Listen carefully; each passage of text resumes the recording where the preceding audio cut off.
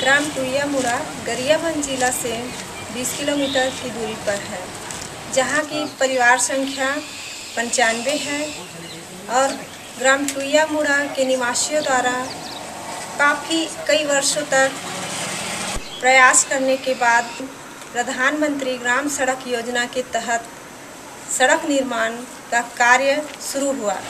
परंतु सड़क निर्माण का कार्य शुरू होने के बाद क्या यह सही गुणवत्ता के साथ सड़क निर्माण किया जा रहा है? जो उसमें मटेरियल लग रहा है वो सही लग रहा है कि नहीं? आइए जानते हैं ग्राम टुया मुड़ा के लोगों से।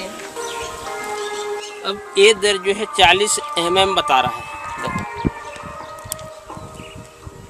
ये दो परत हो गया है और ये चालीस एम एम तीन दिन में ही गया। गाँव के प्रमुख है ही प्रमुख है। जहाँ इस्टीमेट वहाँ पर दिया है बोर्ड पर अब बोर्ड से हम लोग को बोल रहे हैं इतना गिट्टी डालो इतना मुरुम डालो इतना तुम्हारे डमाल डालो ऐसे कि हमारा बात तो मानता नहीं।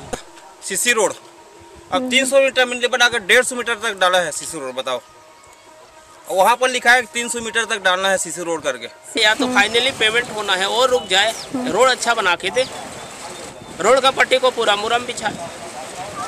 और जहाँ पे जैसे दस एम एम पूरा धूल मिट्टी के ऊपर में जो है डाल दिया है तो उसको सही करें ना। आखिरी में उधर पुलिया एक है गाँव को दो भाग में बांटता है जो नाला। उस नाला को पुलिया बांधना है। पुलिया भी बांधने का था वो भी नहीं बांधा। बहुत बड़ा नाला है।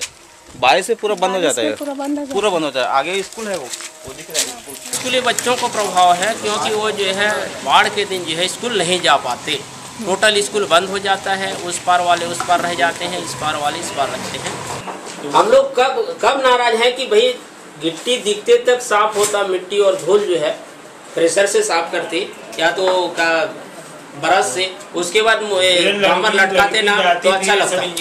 प्रधानमंत्री ग्राम सड़क योजना के तहत सड़क निर्माण में जितने भी धांधली और भ्रष्टाचार हुए हैं उन पर रोक लगे ताकि लोगों को न्याय मिले। यहाँ के कलेक्टर श्रीमान निरंजन दास जी को उनके mobile number nine four two five two double one double zero four पर कॉल करें और दबाव बनाएँ। मैं रीना रामटेके, ग्राम टुया मुड़ा जिला गरियाबंद, छत्तीसगढ़, इंडिया अनहट के लिए।